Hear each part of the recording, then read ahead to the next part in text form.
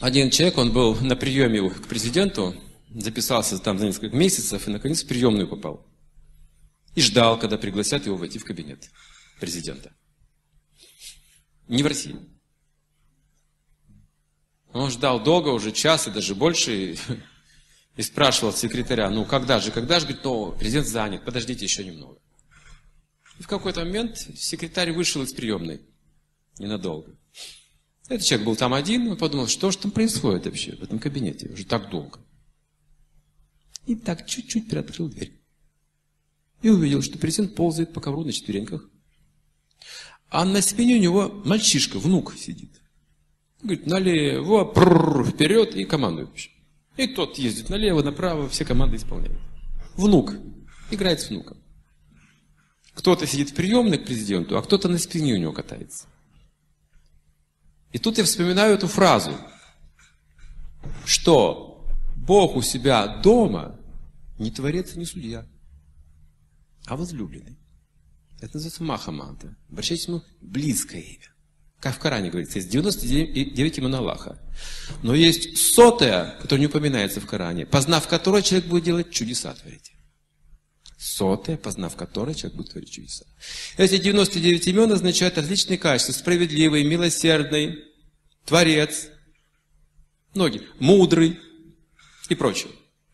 И если вы медитируете на какое-то имя, качество, вы обретаете это качество сами. Как железо, погруженное в огонь, становится как огонь. То же самое. Вот это общение с Богом называется. Через имя, призвавшее имя Господа, спасется. Где двое трое, во имя мое, там и я с ними. Воспевайте имя Господа с литаврами, цимбалами, барабанами. Песня Давида. То есть везде упоминается, да светится имя Твое, везде упоминается имя. Что имя Бога и сам Бог не отличны друг от друга. Это говорят ведические книги. Если вы попробуете это повторять, вы сразу почувствуете, что связь есть. Ну, я это практикую 30 лет, поэтому я это утверждаю, просто потому что это основано на моем опыте.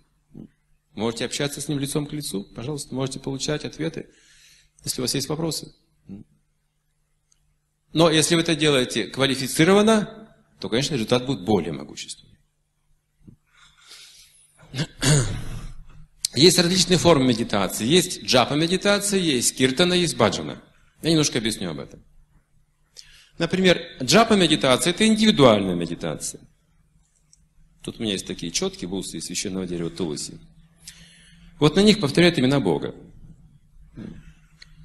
Вообще, э, бусы делаются четкие из драгоценных камней. Из золота или бриллиантов. Поэтому, если у вас золото бриллианты есть, сделайте такие бусы. Если нет, то нужно дерево, вот это священное дерево Туласи, но дороже бриллиантов и золота, говорится. Священное дерево Туласи. 108 бусинок здесь, 109 разделительная. Индивидуальная джапа медитация – это тихое повторение мантры для себя, чтобы вы сами слышали себя.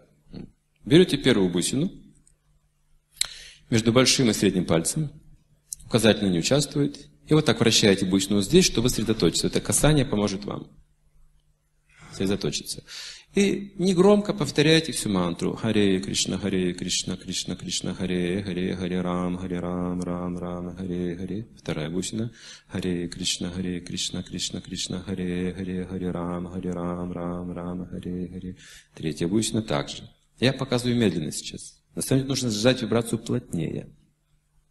Чтобы ум контролировать, нужно плотнее, бодрее. Примерно так.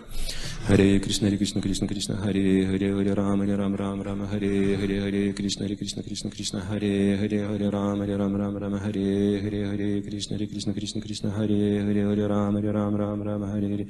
И так продолжайте, продолжайте. И затем у вас кончится 108 бусинок. Вы придете к 109 разделительной. Это будет один круг. Джапа медитации. Примерно займет 10 минут, если вы неопытный, если опытный, быстрее, 5-7 минут. Если вы один круг мантры повторяете каждый день, у вас появится способность различать ложь и правду. Вас будет очень трудно обмануть. У вас появится это интуитивное понимание.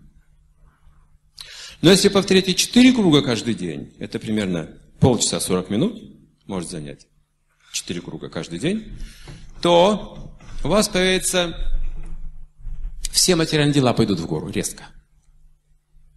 Ваша концентрация изменится, способность принимать быстрые решения, много сомнений уйдет.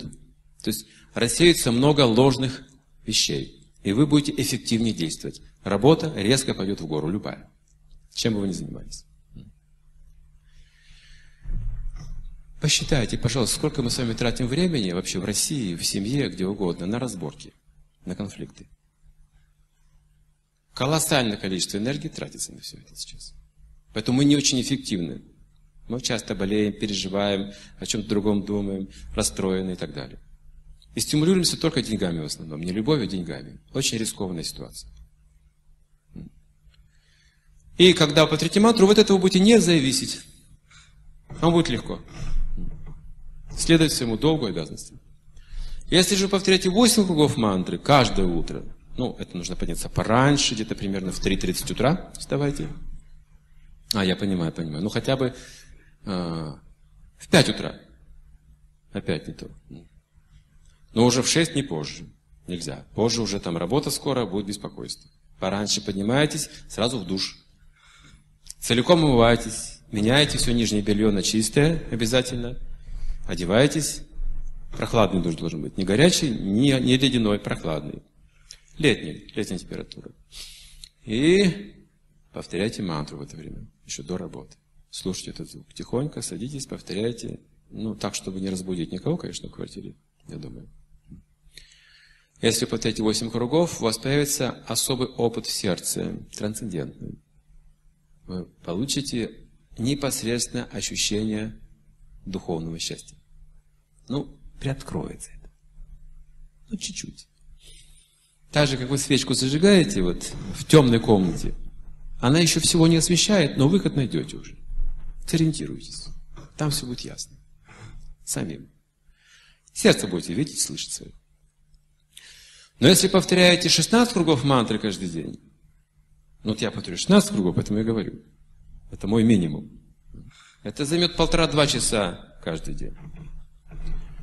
Ну, тогда вы сидите в самолете А420. Присните ремни, пожалуйста. Форсаж. 30 секунд, правда? Земли нет уже. Только, пожалуйста, не выходите раньше времени из самолета. Вот тут риск. Не рискуйте, не повторяйте сразу 16 кругов. Потому что вам вдруг может показаться, что вы Иисус Христос. Вы вдруг увидите, как работает карма и гуны. У вас вопрос, тут же ответ. Вы воплощение Бога. Знаете, это опасный момент, вот эта вот вещь, вот это понимание себя может вам навредить.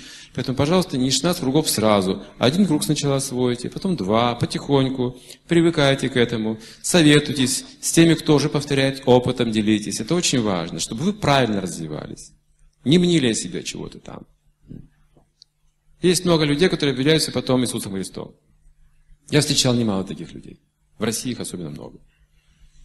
Несколько лет назад был слет Иисусов Христов в Канаде. Где-то более 200 человек слетело из Иисусов Христов, и там был вопрос только один, кто же настоящий из них. Ну так они решили, разъехались и все. Ну люди, люди так думают просто. Одна женщина из Петербурга ко мне подошла и сказала, я общаюсь с Иисусом Христом непосредственно. Он у меня в сердце. Я говорю, и почему решили, что это Иисус? Говорит, а он так представился. Я говорю, если я представляюсь Иисусом, вы поверите в это? Она молчит. Я говорю, что он вам говорит? Он говорит, ну, пойдем попьем чаю. А, он говорит, понятно, ясно все. Иисус специально для этого пришел с вами чай пить, я понял, да. Может так показаться. В определенном состоянии какая-то чакра может быть несбалансированной, может такое впечатление быть ложное. Как ложная беременность, знаете. Живот растет, а ребенка нет там на самом деле. Это кончится, это пройдет. Это само мнение пройдет, когда не будет результата.